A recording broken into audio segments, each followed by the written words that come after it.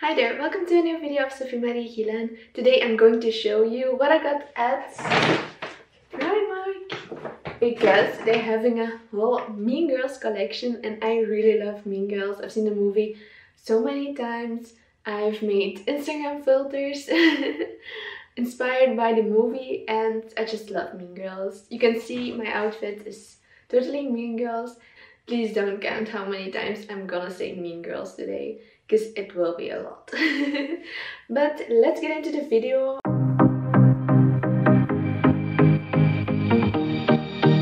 The first thing I got was this stationery set. This is what's inside of the box. There are some pencils, a to-do list, a pen, um, a paper clip, and some post-its. So that's inside of this one. I also got another one and I love to make the do list and I'm gonna put this right here. Um, I really love all the Mean Girls, yep, there's the word again, details. And then there's a list of all the days of the week where you can add the things you have to do. And Wednesday is pink. I'm gonna use this all the time, I think. And it was only 4 euros. Then I also got the sweater. Pink one, just like the one I'm wearing today. And it says burn book. this one is a really big one. They only had a medium and normally my size is extra small. So this is huge, but super comfy. So I had to get it. Uh, this one was 14 euros. And I really like the uh, price tag is also Burn Book Mean Girls. So they thought about everything.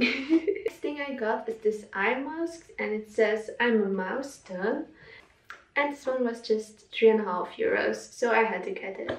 Maybe for some Halloween costumes or maybe a Mean Girls video. That's a great idea, Sofie. the next thing is also a Karen Smith's uh, characters. I'm a mouse, the pillow.